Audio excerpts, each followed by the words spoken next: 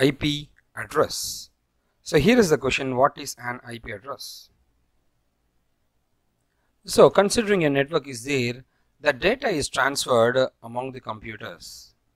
The interconnection is referred to as networking. So each computer in the network will have IP address. So you are able to see it here a request from the source IP address. The IP address will be having four numbers. It is sent to the destination so you got four numbers here. So the source IP address is this one 192.168.0.50 and the destination IP address is 192.168.0 and 150 it's 168 sorry. And what is the port used to open it? And what is the port this guy is going to access? Ports is like a hand.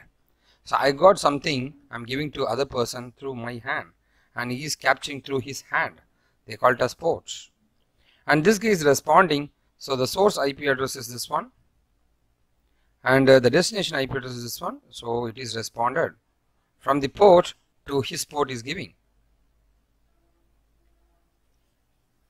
So internet protocol is a numerical function that connects each devices to a computer network which uses the internet protocol for communication so they perform two things. One is like identifying the host and the network interface identification. So the latest and the usable version is IPv4 it got 32 bit 8 8 8 8 32 bit number and it provides the location of the host in the network. So over here I got some data needs to be transferred automatically it is identified and it's transferred through the destination. To whom I need to transfer so automatically it will be transferred. This is how the network is formed. For that we need that IP address which is identified in a network. So IP address is of five different types. It got as I told it got 32 bits. The first 8 bits it's common and this is host ID they called it as class A. And here the top 16 is common and the other 16 we can change it. This is called network ID they call it as class B. And class C is uh, 21 bits common. Network ID and it got a very small network. Over here I can create lots of network and over a medium size. And this is a very small network and class D is used for multicasting. The entire thing is used for multicasting. And the start bit should be 1110 and class E is reserved. It is not used. It is used by research agencies like ISRO and NASA. Okay so this is how your IP address is classified into multiple things. Over here you are able to see it here. So class A as I told it got this value. The first string is common and this is your network ID and this one is your host ID this one is your network ID and this one is host ID and this one is your network ID and this one is host ID and the entire thing is used for your multicasting and this is for uh, research purpose they are using it. If we talk about the values uh, on looking it up to 0 to 127 the first value should be 0 to 127 it indicates uh, the network is in class A. Considering I got an IP address like this. I got an IP address uh, 125.76.76.3.67 over here the first number 125 is here. 0 to 127 125 is there. This one is class A 125 is your network ID and 76 dot 3 dot 67 is your host ID. This is your class A IP addressing. And if the IP address value is 145 considering over here 145 the first number is between 128 and 191 128 128 and 191 145 is between these two number. Obviously this is class B network.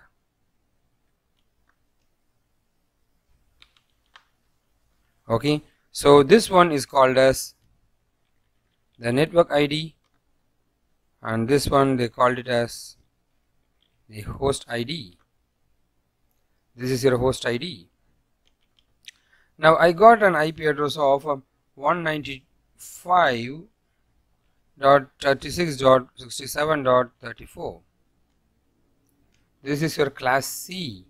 The reason is like 195 is coming between these two numbers. Okay? So first three numbers is called as network ID and 34 the last number. They called it as host ID first three numbers they called it as network ID first three numbers they called as network ID and the last number they called as host ID considering an IP address 226 226 obviously this first number is coming between these two one. This is class D. And the entire thing the entire address is called as network ID this is for broadcasting and multicasting. Multicasting in the sense used in TV channels for their broadcasting. And for radio channels. Considering my IP address is different now, considering my IP address is uh, 254, this is your class E because 254 is coming between these two. Okay, so this is used, this IP address is used by research agencies like NASA. Okay, this is your IP addressing types. So considering I got my network, uh, this is in Wi-Fi, so I'm trying to connect it uh, networks. Uh, if you go to the properties,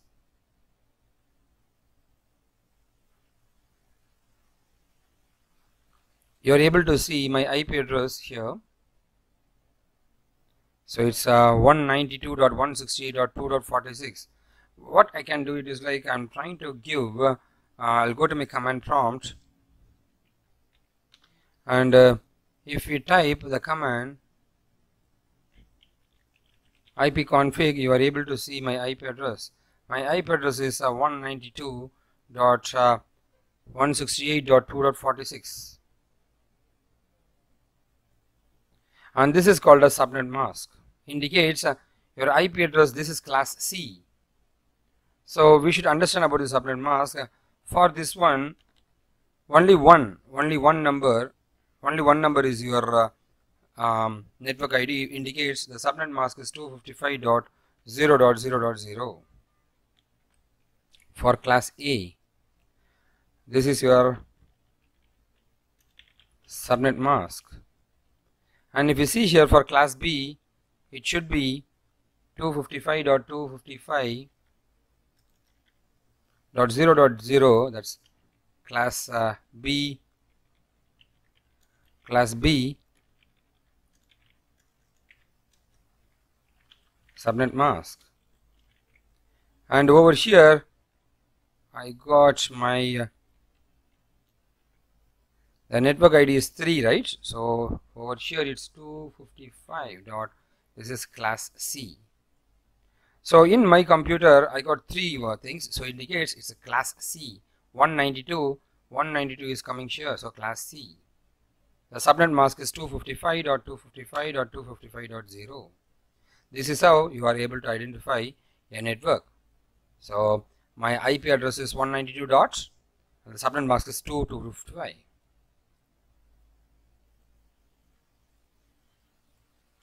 okay so this is a subnet mask for class A and it got almost a 16 million host and the number of network is 127 only and this is a start and end IP address.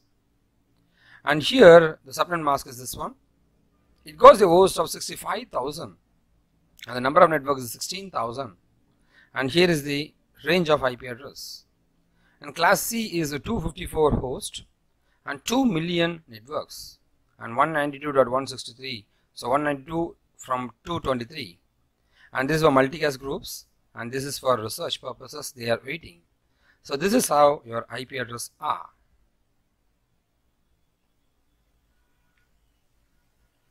Okay so analysis of class A. As I told you are able to see these are seven available bits. You can change it 0 and 1s we can make a combination we are able to make 2 power 7 it's 128 networks.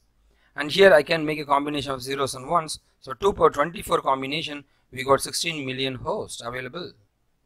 So the same thing I'm trying to analyze with the class C. We are able to see we'll be having 121 bits and we can do zeros and one combination. 2 power 21 is almost 2 million and only 8 bits we got 256 hosts. Okay so over here I'm taking uh, an IP address I'm trying to do some manipulation. We got 172.16.20 dots. The rest of the things they called it as host and this one they call it as network. If it is 0 slash 25 indicates this one is 0 and you can do combination over here. What is the first host put 1 here. That is the first host what is the last host here put all ones and at the end is 0 that is last host put all ones that is called broadcast address. So this is an IP address try to understand. What I'm trying to do is like um, I want the first host what should be the first host put one here one here this is your first host put all one here this is your broadcast address. Put only one here okay? So put 0 here and put all ones here. This is the last host address. Because if I put 1 here it will become broadcast. So this is how your IP address are. Um, you know about our channel. Like this is our website wikitechy.com this is an online technical portal. You are able to learn everything. And if you click projects here there are thousands of projects available in this website.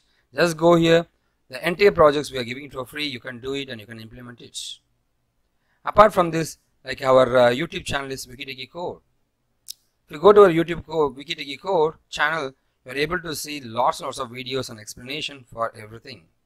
So subscribe to our YouTube channel by clicking this button and click this bell symbol. You'll get a lot of notifications if there is any new videos loaded. Thanks for watching. This is Venkat from Wikitechy. Thank you.